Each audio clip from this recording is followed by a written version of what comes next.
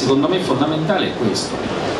Io non penso, io vedrò il ministro del commercio francese non questo lunedì, eh, la, lunedì della prossima settimana. Secondo me i francesi sono molto allineati, il problema è che non basta, non bastano i francesi, gli spagnoli, i polacchi, non bastano, lì c'è un nodo che è un nodo fondamentale, che è quello della Germania, che è il nodo fondamentale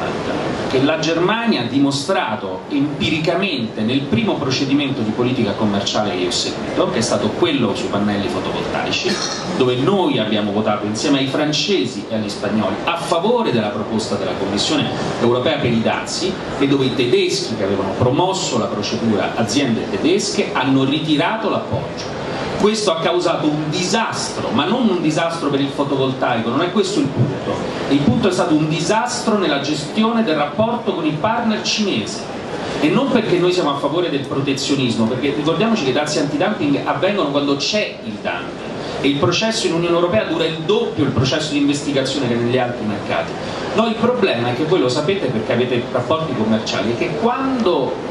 uso un'espressione violenta ma non vuole esserlo, ma è così, quando uno si cala le braghe davanti a un partner commerciale, poi è difficilissimo ritirarsi su. E allora adesso l'accordo che è stato raggiunto, che era un accordo necessario perché non avevamo da, da, da fare altro ormai, perché si sapeva che non avremmo avuto la, la maggioranza per confermarli, ha de determinato una delegittimazione. Allora il nodo è la Germania, la Germania deve decidere cosa vuole fare all'interno dell'Europa. C'era una una copertina di un economist di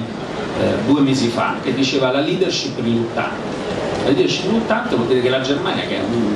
di fondo esercita un potere